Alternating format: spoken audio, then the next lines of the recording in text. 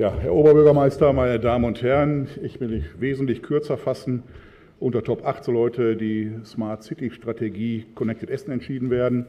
Diese Strategie erscheint uns in Teilen smart, jedoch nicht in der Gänze aller sieben Handlungsfelder, zum Beispiel Mobilität und Infrastruktur, teilweise Umwelt.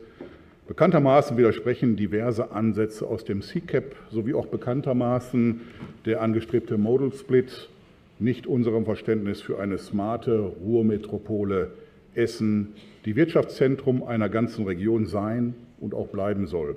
Aus diesen Gründen werden wir uns heute enthalten. Danke. Okay.